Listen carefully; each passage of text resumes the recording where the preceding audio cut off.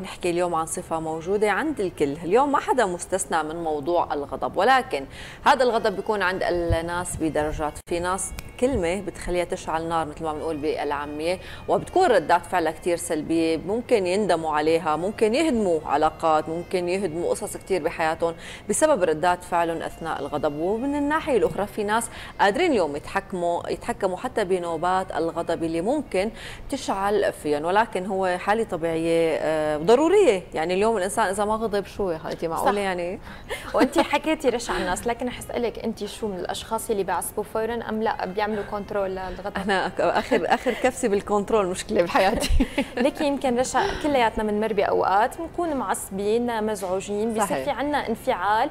ومثل ما ذكرتي اليوم في عنا درجات أشخاص حسب اليوم تماما. كيف أنت تتدربي تتقبلي هي الحالة تماما. ممكن تلاقيهم يلجأوا للضرب للكسر للأذى بينما أشخاص ثانية يمكن تلتزم الصمت يمكن هون صعب إنه انت مانك قادرة تحكي معه. تماما. هلأ الإنسان اللي بيلتزم الصمت مو أحيانا بيكون دليل إنه أنا عاجز إني تماماً. أحكي معك ولكن اليوم في شغلات أخرى وهذا الإنسان بيكون حكيم وحليم وقدران اليوم يتخلص من هذا الغضب بالطريقة النفسية الصحيحة لذاته. رح نحكي أكثر عن موضوع الغضب. نحن اليوم شو كيف قادرين نتحكم فيه؟ ما بين السلبيات والإيجابيات وظيفتنا لليوم هي الاستشارية الاجتماعية. رندا علي ديب صباح الخير يا رندا. صباح الخير. تعصبي رندا يسعد صباحك لا من ملامح وجهها بتحسي إنه هي.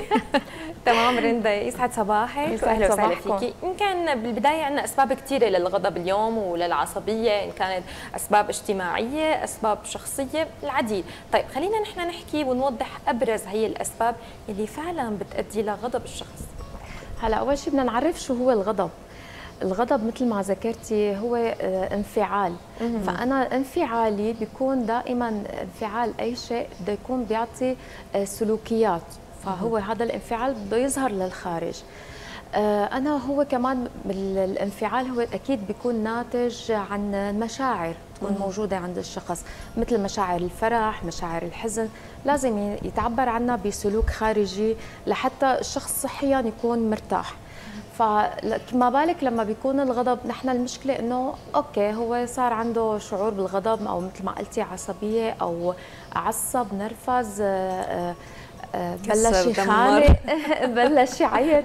آه، هلأ هذا صحيح هو طلع انفعاله لبرا. وهو حيكون بعدها مرتاح وفرغ. مشان هيك نحن بنشوف مثل ما قلتي إنه ناس بتعصب فجأة بعدين ترتاح. هي في عندها شحنة انفعال ظهرت وخلص آه، آه، انطفى هذا الموضوع. ولكن في عواقب بعدها. بهذا العنف بيولد عنف والسلوك الغاضب بيعطي آه، نتائج سلبية تماما للشخص. فنحن عندنا لما بدنا نعرف الغضب بنقول هو انفعال فنحن كثير لازم نربطه بانفعال فطري. يعني هو موجود حالة دفاعية. دائما نحن بندافع عن حالنا آه، بيظهر بسلوك غاضب أو بسلوك اندفاعي إنه أنا بدي آه، برر موقفي أو أنا بدي دافع عن نفسي. دائما هو هذا الشعور بيجي ببلش من المعدة وبيطلع بقى باتجاه الوجه والرأس. فدائما بيصير في انقباضات بالمعدة. هذا بيعطي شعور إضافي بالانزعاج. لازم أعصب أكثر بيخلي الواحد يكون معصب أكثر بعدين بيطلع بيظهر بمظاهر خارجية بالوش وبالبلش بقى هون الجسم. عضويا يساعد الحالة الانفعالية. لا وبنصير نقول شو السبب كمان؟ تشتغل لغة الجسد نقول إنه ليش تماما؟ تقول مثلا إنه شو بك فورا احمرت وعصبت؟ هو بيكون بلش معناتها الشعور بلش يعطي سلوكيات ناتجة عن انفعالات يعني. عضوية. يعني. تماما. طيب اليوم ما بعرف إذا اليوم بعلم النفس اليوم فينا نحط أسباب للغضب. كونه اليوم نحكي عم نحكي عن قصة فطرية طبيعية يعني ضروريه حتى اليوم بحياه كل حدا فينا ولكن إحنا هل يمكن اليوم نثبت لها أسباب آه، تكون ثابتة بحياه كل حدا فينا إنه أنا وهايدي لازم نعصب كرمال هاي الورقة أو أنا لازم أعصب كرمال رندا يعني في شيء أساسات ثابتة اليوم؟ تماما. هو دائما الشعور بالإحباط والفشل. طول ما أنا عندي شعور آه، إنه مثلا هلأ أنا طول إذا حسيت أو جاني شعور إنه مثلا ممكن هذا اللقاء ما يكون جيد بالنسبة لي حيعطيني علينا رندا. حيعطيني شعور إنه أنا اكون آه، غاضبة مالي قاعدة مرتاحة صحيح. معصبة آه بلش مثلا لكم لا معلش أنا بدي آخذ شوي break مثلا بدي أشرب مي مثلا أو ممكن تشعري إنه نحن عدوانيين معك تماما. عم نعطيكي هذا الإحساس. بصير في حالات إسقاطية على الأشخاص الثانيين إيه ما عرفوا يسألوني السؤال المناسب. تماما. عرفتي؟ أو مثلا إنه أنا مضغوطة كثير فنسيت شو لازم أحكي.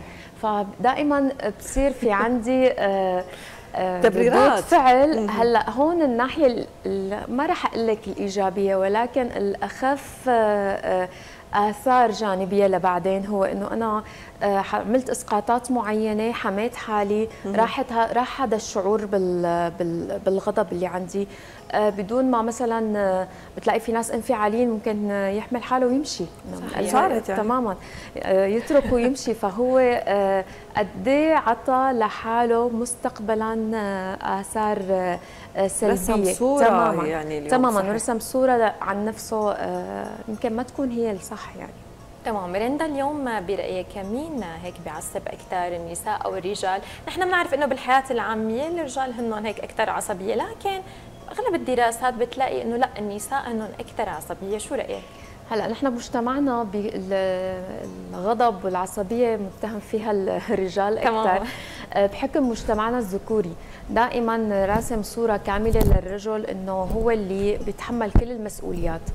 فمسؤوليات كثير معناتها أنا في عندي إحباطات كثير يعني مو ضروري أنا أكون كامل بكل شيء وأقدر أنجز كل المهام المطلوبة مني ومسؤولياتي بطريقة آه، صحيحة. صح. فأنا هون بصير في كرجل بصير في عنده إحباطات أكثر بتخليه عنده غضب أكثر يعني ممكن مثلا تلاقي كثير نحن بنشوف إنه آه، صار مشكلة بالبيت عطل بالبيت معين ما عرف يصلحه فهو بيعصب. وبكون في تراكمات اليوم تماما. آه يعني كمان في المسؤوليات بتعمل تراكمات إيه هلأ نحن هون بدنا آه هلأ بنحكي بعد شوي آه إنه كيف نحاول ما يصير عندنا هاي التراكمات لحتى آه، ما آه، نطلع بثورة غضب آه، لقاء شيء كثير بسيط وما له داعي. طيب خلينا نروح لهذا السؤال رندا اليوم نحن كيف قادرين بهي الظروف اللي عم نعيشها؟ أنا أنا شو بعمل. وبهي المسؤوليات والضغوطات إن كان على الأنثى أو كان على الرجل اليوم حتى الأطفال اليوم عم بيعصبوا. يعني أنا بنتي قلت لي خلص عصبت منك. لا أنا آسف. يعني اليوم كيف قادرين نتحكم بهدول الموجات العصب التعصيب؟ كيف قادرين اليوم نحن يعني بدها تصير هي إنها طبيعية بس ولكن تكون النتائج ما تكون كارثية علينا يعني آه فاتنه نشوف من خلال تجربتك شو بتساوي؟ هلا آه نحن كلنا اتفقنا إنه هذا انفعال آه فطري يعني موجود عند الكل بيكون بحالة دفاعية. أنا بدي أحاول دافع عن نفسي فيها لحتى دائما اكون حامية حالي. فأنا العنف بيظهر أو بكلام أو مثل ما قلتي ممكن كسر ممكن أعمل شيء أو ممكن غير الحالة اللي أنا موجود فيها مثل ما ذكرنا إنه بكون بمكانه بغيره هلأ لحتى أنا ما أتعرض لكل هاي المواقف لازم دائما آه، فكر إنه أنا شو التفكير؟ أنا مثلا معصبة إنه مثلا آه، هاي الطاولة مثلا ما لها محطوطة بالاتجاه المناسب لي فأنا بدل ما أفكر أول شعور رح يجي إنه أكيد هن مبعدينا. فأنا لا. أصلاً. أيوه. فأنا بنقل تفكيري. أنا بحاول دائما انقل تفكيري هي بالتدريب إنه أكيد في لها سبب آه، منطقي لحتى محطوطة ومو أنا الشخص المقصود بهذا التصرف. وحط حالي بدال الشخص الثاني اللي هو أعطاني اللي أعطاني الشعور بالغضب. إنه أكيد هو كمان هو عم بيعمل هيك آه، آه، لحتى آه، مثلا إنه لحتى كمان يحمي حاله أو لحتى يعمل شيء, شيء تماما. شيء كمان تماماً. هو عنده أسبابه.